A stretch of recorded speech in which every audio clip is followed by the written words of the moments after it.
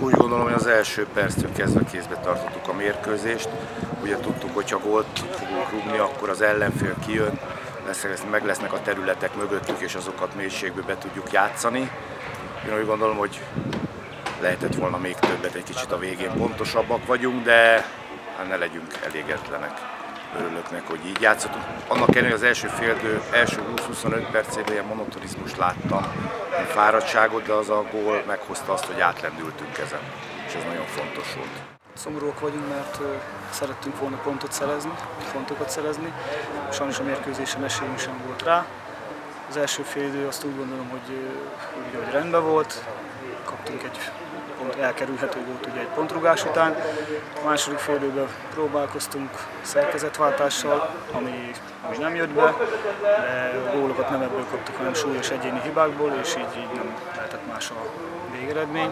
Úgy gondolom, hogy teljesen megérdemelt hazai siker született. Gratulálok a hazai csapatot.